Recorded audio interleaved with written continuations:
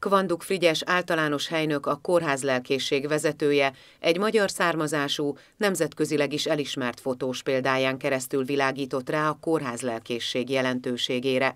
Mint mondta, a súlyos betegséggel küzdő fotós Istennek átengedte a kezdeményező szerepet.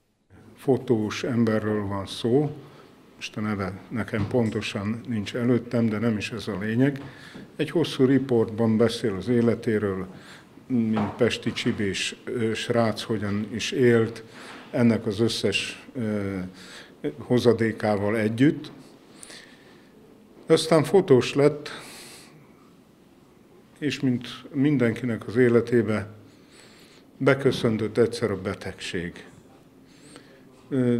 Több fázison keresztül, sztrókot kapott egyszer, beteg ágyra került, olyan gyógyszerrel kezelték, amit még nagyon ki se tudtak próbálni, tehát bizonytalan volt az egész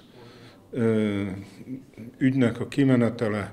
Annyit tudtak, hogy vagy gyorsan fölépül, vagy pedig hát tragikus következményekkel kell szembenézni.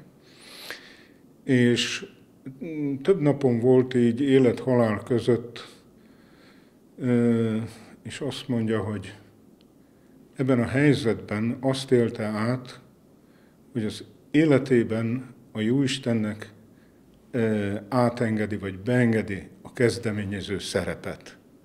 És én azt gondolom, hogy ez ugyan az élet bármely helyzetében így lehet, egy betegségem esetében ez egy különösen kiemelt pont a mi személyünkben, hogy rájövünk az, hogy sem a magunk ügyessége, sem mások ö, támogatása nem elegendő az életünk kereké tételére, hanem azt az abszolút jövőt, amit a Jóisten jelent, ezt engedjük az életünkbe.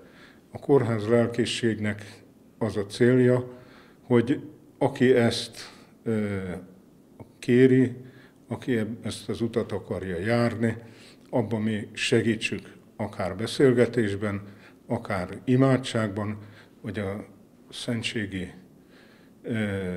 Jézusnak a közvetítésében, elhozatalában. Október 18-án Szent Lukácsra emlékezünk, aki orvosként Krisztusban fedezte fel az emberiség gyógyítóját. Nagy öröm, hogy ma Szent Lukács ünnepén sor kerülhet ennek a kápolnának a megáldására.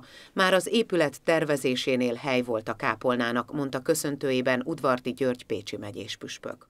Ebben a mostani kápolna megáldásban ismét egy egyértelmű jelét és helyét látjuk annak, hogy mindazok, akik a betegért, az emberért, az ember gyógyulásáért szeretnének tenni, szeretnénk tenni, összekapcsol bennünket a szolgálat és az alázatnak a, a, az erénye.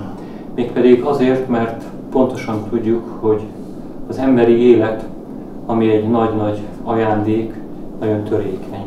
És bármely pillanatban, amikor betegség, sérülés közel jön hozzánk, akkor valahogyan közel hozza hozzánk a végső elmúlásnak az élményét, érzetét is.